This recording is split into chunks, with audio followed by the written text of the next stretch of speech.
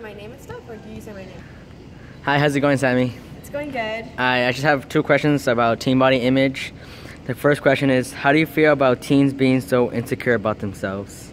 Um, I feel that they're insecure about themselves because um, they don't know how to appreciate themselves, like their own body, and I feel like they shouldn't care what others say because I mean, it's your body, you should own up to it, you know, do what, what's best for yourself. Yeah.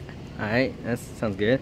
The second question is, do you believe teens should have a positive, positive body image in order to have a good self-esteem? Yes, I feel like they should. They should be comfortable enough with themselves and feel good about themselves. Because I mean, if you don't, you have to love yourself first before um, you get to like someone else.